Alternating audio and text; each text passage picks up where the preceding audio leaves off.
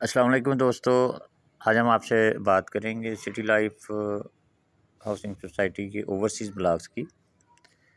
City life, housing society जो है, ये तकरीबन एक साल पहले सेंट्रल पार्क के अपोजिट, डीएचए फेस टेन के साथ जो है, इसका आगाज़ हुआ। और स्टार्टिंग में तीन मरला, पाँच मरला और दस मरला के जो प्लाट्स थे चार साल पेमेंट प्लान पे जो है वो फ़रोख्त किए गए।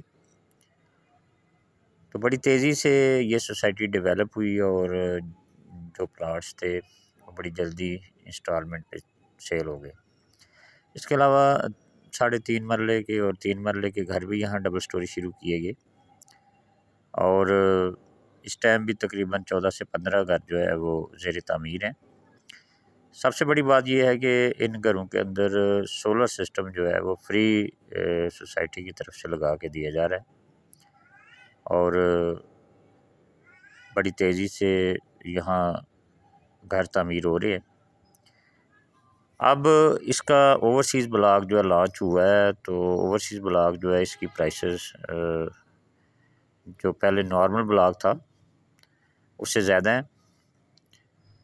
और इसमें तीन मरला और पाँच मरला की रेजिडेंशियल प्लाट्स हैं और एक मरला और दो मरला के कमर्शियल प्लाट्स हैं।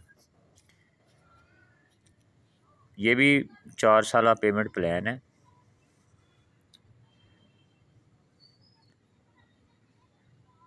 यहाँ रजिस्ट्री है सोसाइटी के अंदर और फौरी तौर पे पोजेशन है।